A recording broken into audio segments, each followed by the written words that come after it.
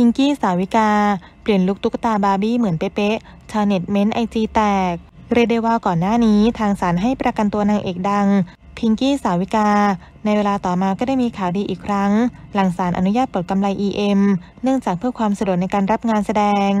และล่าสุดวันนี้ เราจะพาทุกคนมาเปิดภาพล่าสุด พิ้งกี้สาวิกาเปลี่ยนลุคเป็นตุ๊กตาบาร์บี้ เหมือนเป๊ะร้อยเปอร์เซ็นต์ชาวเน็ตคอมเมนต์ไอจีแตก โดยเธอนั้นได้โพสต์ระบุข้อความว่า